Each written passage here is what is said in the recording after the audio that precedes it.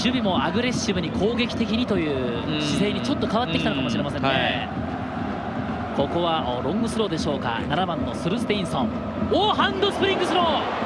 ハンドスプリングスローですね。ちょっとここ最近は見ませんね。そうでしたね7番のソルステインソンです。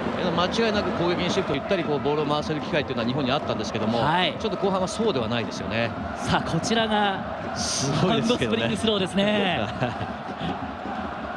5年前ぐらいもうちょい前ですかね。もう10年以上前かもしれませんね、はい。そうですね。ええ。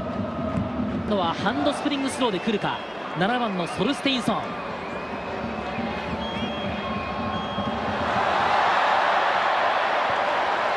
17番の今クリアをしました増田。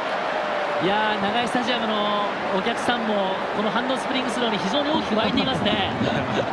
なかなか見ることできませんからね。これファールスローになる確率がね高いんですけどもね、ええ。やっぱりボールをこう地面につくわけですから、はい。バランスを崩したらファールスローになってしまいますけども、あのーボールをついて回転するときに起き上がった瞬間に頭の後ろにきっちりとボールがかかっていないとファールスローになってしまうんですね。ね、そして着地も大事ですからね、あーね。イワンズだ。そしてイノファが入っています日本代表です。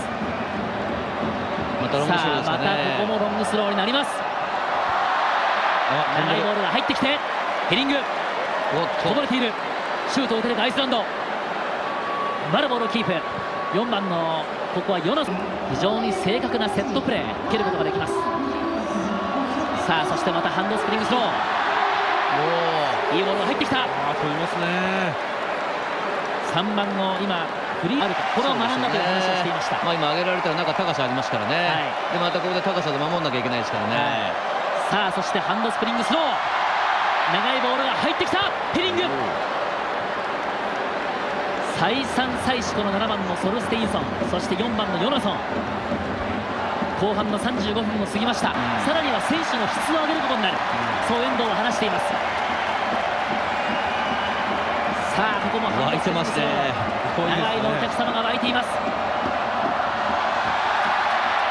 さあハンドスプリングスローだが？17番の増田。かなりもう投げてますからね、ね。もうすでに10本近くハンドスプリングスローを投げています。さあスローになった今度はゴール正面でリングシュート。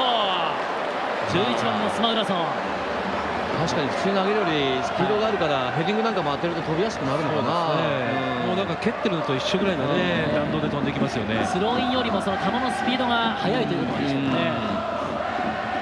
今ちょっと足を痛めたでしょうか11番のスマウラソンです